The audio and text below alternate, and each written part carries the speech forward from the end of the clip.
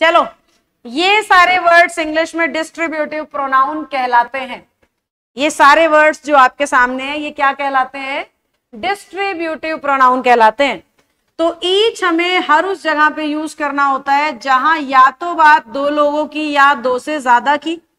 None सिर्फ़ दो से ज़्यादा के लिए एनी सिर्फ़ दो से ज़्यादा के लिए ऑल सिर्फ़ दो से ज़्यादा।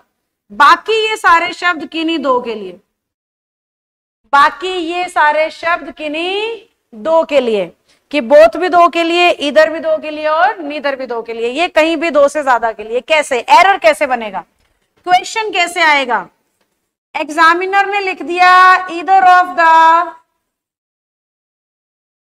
three girls are intelligent either of the three girls are intelligent. तो अब हमारे बच्चे को एग्ज़ाम में ये पता होना चाहिए, भाई, बात वो कर रहा है तीन लड़कियों की। जबकि इधर शब्द तो दिखाता सिर्फ़ दो को है।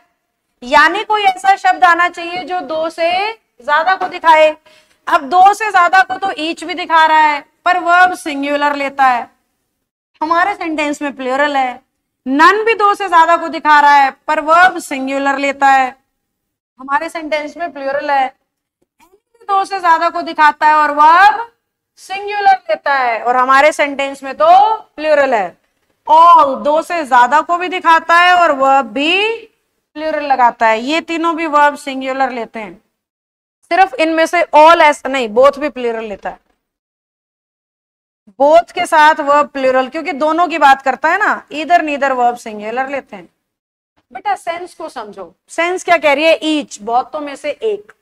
तो दिखा तो बहुतों को रहा है ना, पर बात एक ही कर रहा है, इसलिए वर्ब सिंगुलर नन कईयों में से एक भी नहीं। एक भी नहीं, इसलिए सिंगुलर हो गया। एनी कईयों में से कोई एक। तो दिखाता कईयों को है, पर बात एक की करता है, इसलिए वर्ब सिंगुलर हो जाती है। ऑल दिखाता भी कईयों को है और बात भी कईयों की करता है। इसलिए दो से ज़्यादा के लिए और प्लेरल के लिए लग रहा है। आइदर का मतलब दो में से कोई एक नीदर का मतलब दो में से कोई भी नहीं, और बोध का मतलब दोनों। तो इस हिसाब से वर्ब लग रही हैं। अब यहाँ सारी मतलब तीन लड़कियाँ हैं तो इधर की जगह क्या लगा सकते हैं फ़िलहाल? ऑल